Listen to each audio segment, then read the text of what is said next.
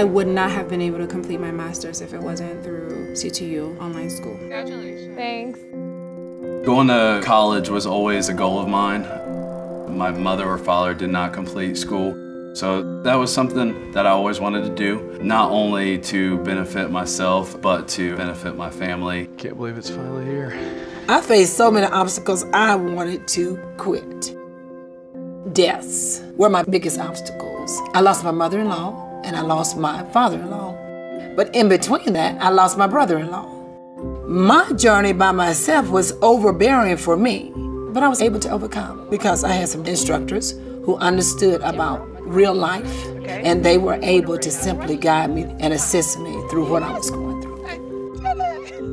As a child, they told me that I had like learning disabilities and just problems paying attention and all this all these things. But I knew that if I chose that, I was setting myself up to fail. Love yourself, respect yourself, never give up. I want to be a walking example because you hear a lot of you can't. You can't achieve this, you can't achieve that. I want to represent you could. That's it, let's go. Without my family, I, I, definitely couldn't have done this. There were, there were times where I was stressed out.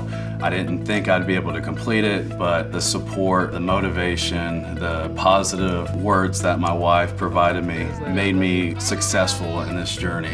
Hi, babies. I have children still in school. And so I said, you know what? If I go back to school, that'll motivate them to say, hey, look, my mom's still going to school. So if she can do this, I can do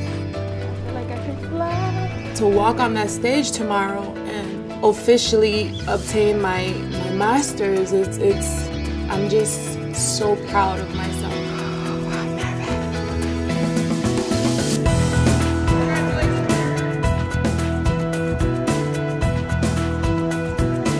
Good morning.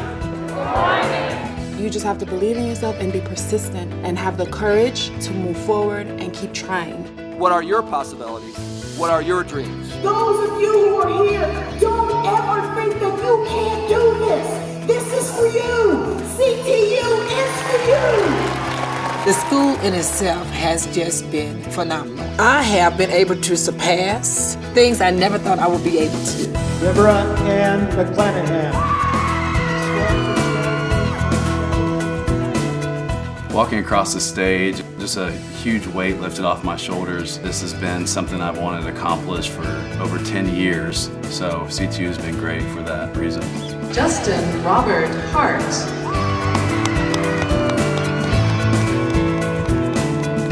It's surreal too because like I think of that girl that they used to look down upon and I reflect and I see myself now. I'm like, wow, I did it. I did it all by myself. Madeline Wallace.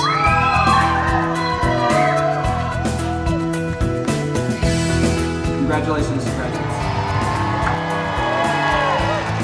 That's what I started this journey for, to impact the life of my family. We've always been there supporting each other. So she's definitely the first person I would like to see after I walk across the stage. I'm just proud of myself and I and I want to encourage and, and inspire other people and, and let them know that you could. Just believe in yourself and just go for it.